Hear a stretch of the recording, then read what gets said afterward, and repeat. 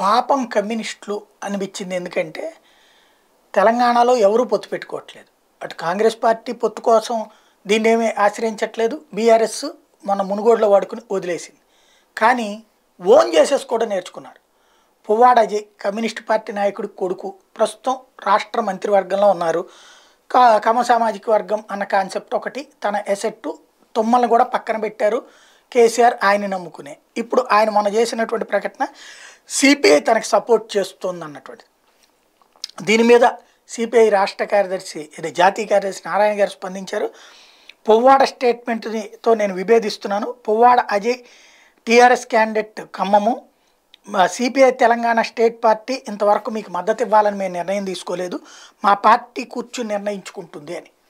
ఇక్కడ సిపిఐ సిపిఎంలకు ఒక్క సీటు కూడా ఇవ్వలేదు కేసీఆర్. అయినా మద్దతు అయితే ఇచ్చేస్తున్నారన్నటువంటిది లోకల్ నుంచి.